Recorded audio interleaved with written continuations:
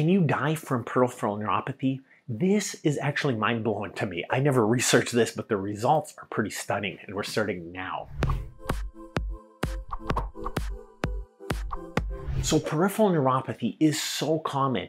It's said that about one out of 10 people over age 55 will develop peripheral neuropathy.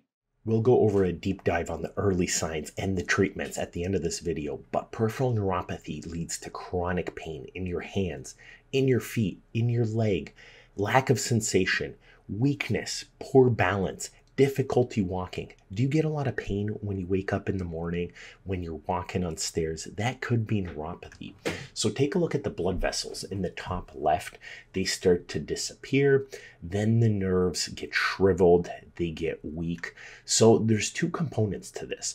The nerves themselves get weaker, they're less coated, the signal can't travel as well, but you also have poor blood flow. So when patients come to see us in clinic, we evaluate their blood flow and their nerve sensation. We can do this on the first appointment in the office, and there is easy procedures. In most of my patients, we can get the nerve pain at least 75% better and more functional, even in bad cases. And same thing with blood flow, we can get it better. While peripheral neuropathy by itself won't kill you, it can significantly destroy the quality of your life, and rapidly it is associated with worsening of your health. It can lead to complications that can be life threatening. There are key points including statistics, studies, and information about end stage neuropathy that you should know. I used to do a lot more nerve graft surgeries, but a rep showed me this once. The diabetic peripheral neuropathy market over the next 10 years is projected to grow from almost $3 billion to $5.3 billion. So, a lot of money is being spent on just surgical treatment of peripheral neuropathy. The rates are going up dramatically.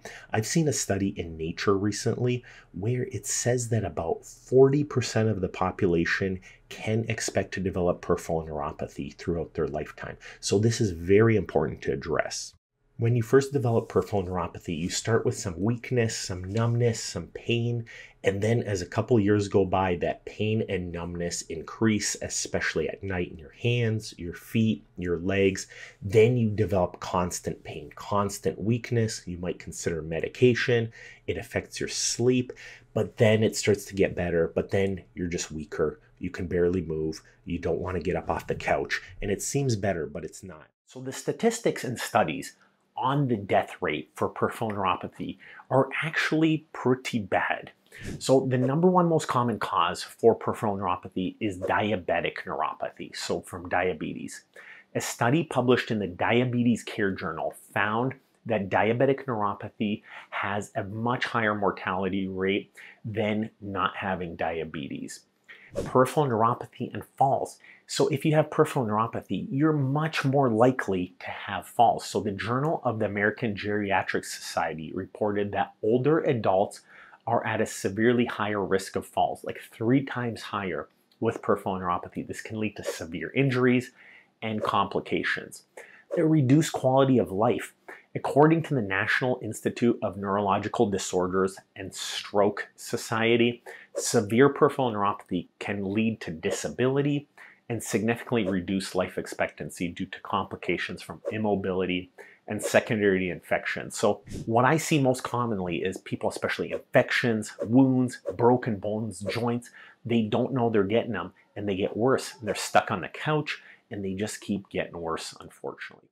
The long term complications that I see can be things like foot wounds, not being able to feel your feet, numbness, burning, tingling, poor blood flow, fatigue, weakness walking around. This can lead to a lot of issues, basically decreasing your physical activity. And I always tell my patients physical activity is the number one most important thing you can do in your life.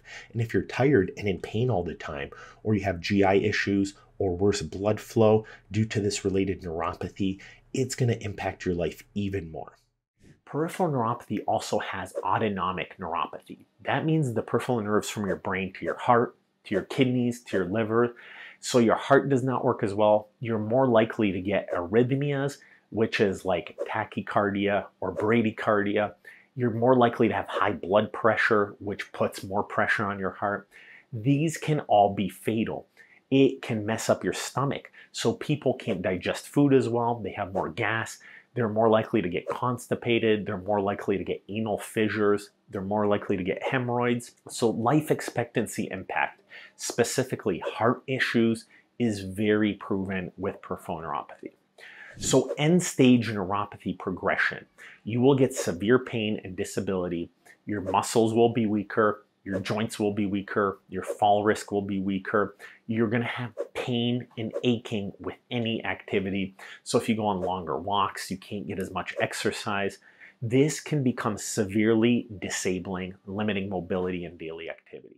The importance of this video is to realize phase one and phase two aren't really causing pain, but it's that weakness, it's that numbness. Hey, it doesn't seem like a big deal. I'm just getting older. But then that neuropathy can eventually turn into chronic, constant pain, weakness, inability to get up off the couch, eventually potentially getting stuck in a wheelchair, broken joints, broken bones, compressed nerves. You don't want to get to the stages of three, four, and five we're going over the top seven symptoms from least common to most common that I see. Number seven, autonomic symptoms. These are late stage symptoms. It's not something you're going to see at the beginning, but what autonomic means is from your brain to your heart, to your kidneys, to your stomach, you have peripheral nerves, and these include changes like blood pressure, heart rate, digestive problems, bladder dysfunction. So, for example, peeing a lot late at night, or having significant digestion issues, or having high or low blood pressure. When you get up out of a chair, do you get dizzy and fall over sometimes? That's an autonomic issue potentially. These symptoms typically appear in more advanced peripheral neuropathy. There are a lot of causes, but as you get older with poorer blood flow, with high blood sugar, this can show up later. Number six, muscle weakness. This is a later stage symptom, but as you get older, your balance can suffer. You know, so if you try and stand on one foot, a lot of older people tip over. When they get up out of a chair or a sofa, they could get dizzy and fall. This happens in 20 to 30% of peripheral neuropathy cases, especially more significant cases Muscle weakness due to damaged motor nerves can lead to poor coordination. This usually appears in later stages when there has been more significant damage. But you're never really going to get to the point where you can't move your muscles at all, unless you have certain disease processes. Number five, balance problems and falls. This is a mid to late stage. So this happens in about 35% of people. Kind of what I mentioned, if your muscles are weak, there's something called proprioception. That means if I close my eyes, I can tell if my hand's in the air or it's low. But sometimes with advanced peripheral neuropathy, you can have a hard time telling if you're lifting your leg, it's down, it's low, or if somebody's bending your big toe up and down, for example, or your fingers, you can't really tell if it's up or down. You can't really tell if someone's touching you. Try doing this with like a feather. Have your significant other touch you with a feather on your toe. Can you feel that? That could be that problem called proprioception, or if they grab your toe or move your foot. Generally, this arises in mid to late stages and can affect the sensory nerves more. Number four, hypersensitivity to touch. This is an early to mid stage. So, for example, if you're on your feet, if you're standing, your feet can get really sore, they can get achy, they could get throbbing. This happens in about 40% of cases where even lighter touches. So, for example, if someone flicks you gently, you're like, ah, that really hurts. You're just more sensitive. Everything aches. Everything's bothering you. That's called hypersensitivity to pain. It's very bothersome. This is one of the first stages of chronic pain where everything just starts hurting your knees, your feet, your toes. That can be peripheral neuropathy. But now we're getting into the early stages and the very common stages. Number three, numbness and tingling. This happens in about 60% of people with peripheral neuropathy. Pins and needles sensation down to your toes, down to your hands, particularly in the feet more so than the hands. But this is such a common thing. It usually begins in the early stages and can progress over times. Now, most people, they don't know they're getting numb I have patients say, say things like, I have very high pain tolerance. The answer is unfortunately your nerves are just not working as well. One guy told me that he dropped like a heavy rock on his foot and he was so tough it didn't bother him. But the reality is you could break your bones, you can get wounds, and some of these people think they're just so tough and it's not a big deal, but it's just your brain is not receiving signals from there because you have messed up nerves. That's really how you should think about it. That is an emergency that you got to start getting better. And don't worry, the solutions will be at the end of this video. Number two, sharp burning or throbbing pain. This is the early to mid stage. This type of sharp burning and throbbing pain happens in 75% of people. You can have burning, throbbing, aching. This can ache, especially at nighttime when you're laying in bed, when you're watching TV at the end of the day. This is where a foot doctor can come in or someone like myself can come in. I'm telling you, this type of pain, even on the first appointment, we get you the proper creams, the proper medications, we get you feeling better. I love laser therapy. I love shockwave therapy. These things are so safe. They work so well.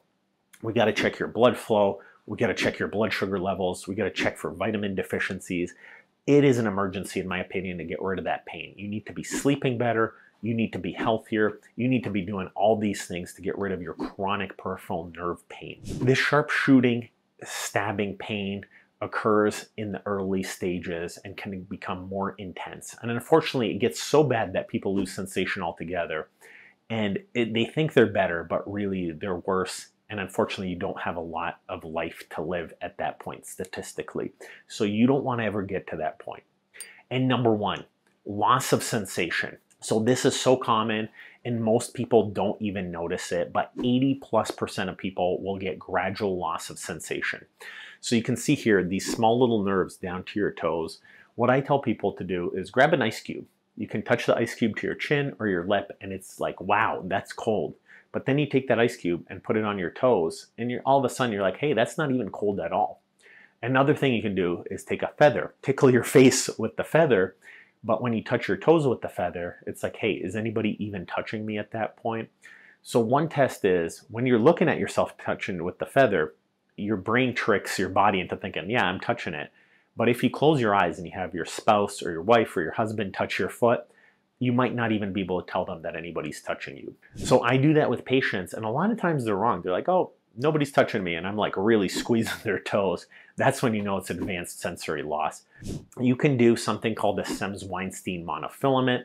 You can do a test with a vibration tuning fork. And then there's so many things you can do at that point. In my opinion, there's so many great options. Number one, you got to find out what the cause is. If you know the cause, then it's much easier to treat. And even the causes that are said to be irreversible, I'm telling you, we get our patients like 75 plus percent better. There's great creams. There's great vitamins. There's great medications. There's great natural remedies. There's great shoes. There's biomechanical exams checking your back, your hips, your knees. With an ultrasound, you can check if the nerves are impinged, if there's a spur pressing on those. Do you have an autoimmune disorder? Do you have a genetic disorder? Are you not getting enough sleep? Do you have hormonal imbalances? Is anything else off? All these things can help and just make such a huge difference for your health, for your body. I'm telling you, don't live with peripheral neuropathy. There are such great solutions, and you want to pursue these solutions for sure. But don't worry, peripheral neuropathy, in my opinion, is one of the most underdiagnosed and misdiagnosed conditions. That's why I spent so many years putting a book together on this. I think it's the preeminent book. But don't worry, you don't have to buy the book from me, even though I think it's great value and it's pretty low cost. I have a, a, mailing list down below where I put out videos on all the best treatments, all the best guides to peripheral neuropathy. You can get the best diet, the best medications, the best natural therapies, the best creams, the best drinks. Another problem with peripheral neuropathy that I see quite a bit is almost all foot wounds that I see are due to peripheral neuropathy or a combination of peripheral neuropathy and vascular disease. So that means poor blood flow down to your toes. But foot ulcers are so common, amputations are so common. I've done at least 1,000 amputations in my career of people's toes, feet. According to the American Diabetes Association, up to 15% of diabetic patients will develop foot ulcers and about one quarter of these will require a foot amputation. Loss of sensation and muscle weakness can lead to significant mobility issues, increasing the risk of falls and fractures. So the problem with peripheral neuropathy is you're going to have heart, kidney, stomach issues, you're going to develop ulcers, infections, you're going to have weak muscles, poor mobility, and you're going to lose your independence at much, much higher rates than you would without peripheral neuropathy. So while peripheral neuropathy itself will not kill you, it is such a burden on the people with it. You're basically destroyed from a chronic pain standpoint. You lose your energy for life. You do not want to do this. You don't want to risk the cardiac issues, the infections, the ulcers, the diabetes. There are so many great treatments that we talk about. Our top vitamin guides, our top creams, our top diet, our top anti-inflammatory medications, natural treatments, best shoes, orthotics, insoles, everything. There are so many great treatments. I'm telling you, most of the patients that come see us, I would say the vast majority get 75 plus percent improvement of their neuropathy, no matter where they're starting from. So that's a great option. Come see us, come watch those videos.